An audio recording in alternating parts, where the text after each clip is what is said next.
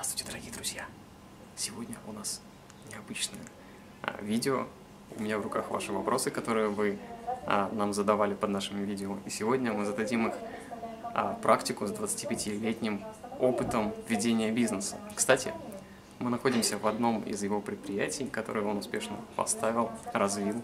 А, вот вы можете посмотреть здесь колл-центр. Посмотрите, пожалуйста. Работают уважаемые обработчики звонков, операторы колл-центра. А пойдемте дальше, посмотрим, как устроена компания и заглянем в ту самую дверь.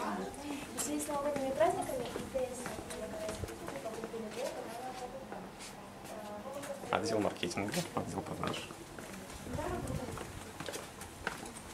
Вот так устроена вся компания, все семь отделов. Именно эта схема позволяет компании быть наиболее эффективной и легко управлять ей вон оттуда.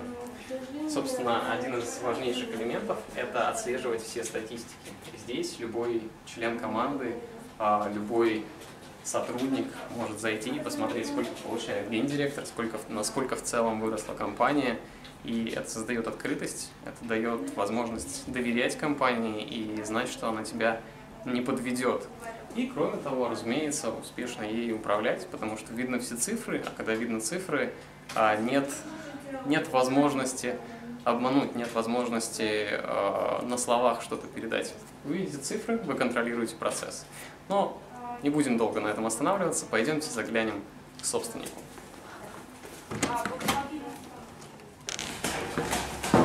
Итак, поднимаемся в отдел управления.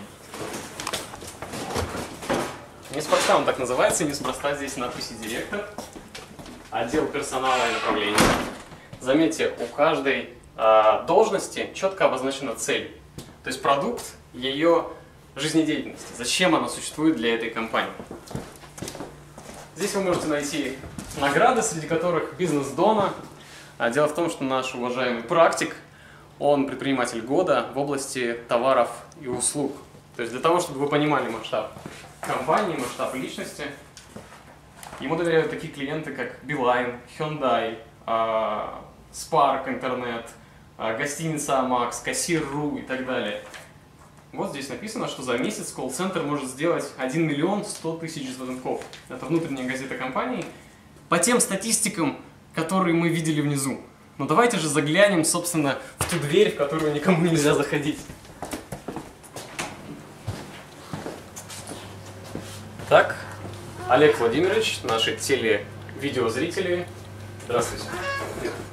Олег Владимирович Иванчихин, хозяин, основатель, создатель, развиватель а, технологий контакта. Итак, сегодня у нас есть уникальный, а, уникальная возможность заглянуть за плечо практику. Давайте же зададим те самые вопросы, которые а, вы адресовали ему. Итак, с вашего позволения, вопрос задавала Ирина. С- Много ли вы времени тратите на бизнес? И если немного, то как таким бизнесом управлять? То есть вы там уехали учиться или уехали отдыхать? А как с этим быть? Ну, если посмотреть на это с точки зрения управления, это как управление любым транспортным средством. Да, то есть вот у вас есть машина.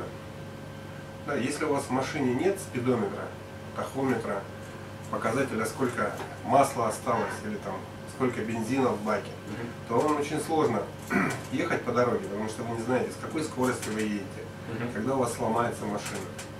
Да, для того, чтобы вы ехали нормально, у вас должен быть спидометр. Ну, как минимум. Вот. Поэтому предприятие это та же самая машина, которой нужно управлять.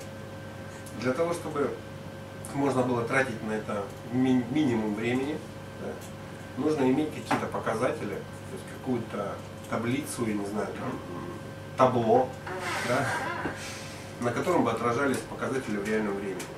Сколько у вас уходит? По большому счету, э, реальное управление, на реальное управление уходит где-то около 3-4 часов в неделю. В неделю? Да. И ну, до этого я тратил на это где-то около 2-3 дней в неделю. Э, Это было до того, как мы ввели систему финансового планирования. Э, И после того, как мы уже распределили все, все финансы, да, то тогда у меня на это уходит несколько часов в неделю. Здорово. Ну, я думаю, мы подробнее еще в полной версии расскажем. А, следующий вопрос. Задала его Саша Саша. Ну, так и подписалась Саша Саша. А, как, получить, как, получив определенный результат, сделать его стабильным и в то же время а, не довольствоваться этой стабильностью, а продолжать развиваться? Ну, какой-нибудь такой блиц-ответ коротенький. Ну, здесь на самом деле короткого ответа не получится, Мгм. потому что а, по определению а, собственник это создатель. Мгм. Но человек, который создает, он же и разрушает свой бизнес. Вот. Поэтому самым важным фактором, и вот как раз сейчас я нахожусь вот в этой стадии, нужно снять с себя бразды оперативного управления. Мгм. Потому что находясь внутри рутины и являясь творцом собственной компании, вам все время хочется ее улучшать. Мгм. Но это до хорошего не доводит. То есть нужно себя где-то остановить и поставить человека на, на свое место, который бы управлял этой компанией. И передать ему эти инструменты, да, то есть те инструменты, которыми, которыми нужно управлять и контролировать. Понял. А, Виталий спрашивает, а, как имея такой огромный опыт за плечами, что, что бы вы сделали иначе? да? Какие бы ошибки, может быть, не совершали? Может быть, что, что наоборот, сделали бы раньше? Вопрос такой, с подвохом.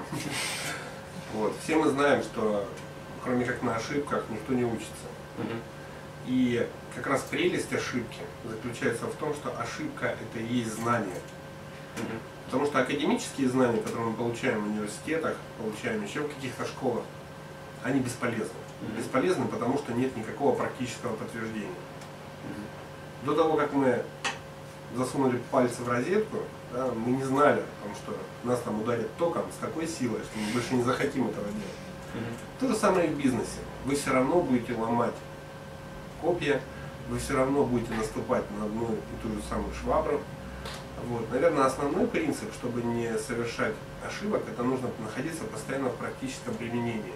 Мгм. То есть вы получаете какие-то знания в сфере бизнеса, затем вы эти знания пробуете, получаете по голове за короткий какой-то период, и уже потом не повторяете. Или наоборот, вы делаете какое-то действие, получаете результат, и потом его усиливаете.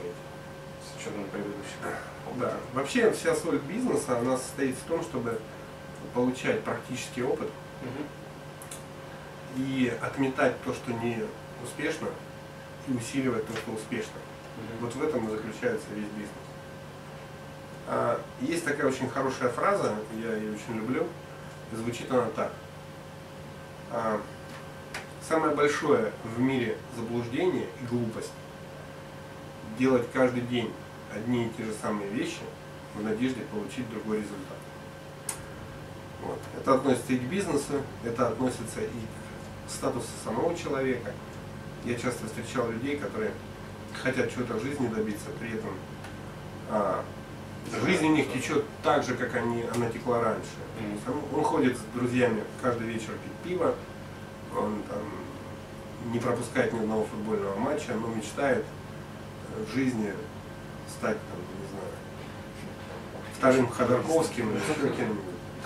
Я имею в виду с точки зрения финансов. Ясно. Спасибо большое за это блиц-интервью. Пожалуйста. Ну а мы переходим дальше. Что ж, дорогие друзья, я надеюсь, мы ответили хотя бы на часть ваших вопросов. Остальное ждет вас позже.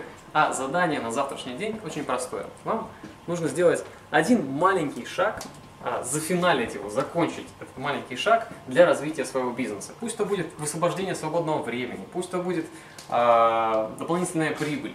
Главное, чтобы вы сделали законченный шаг. Пока не важно, каким он будет.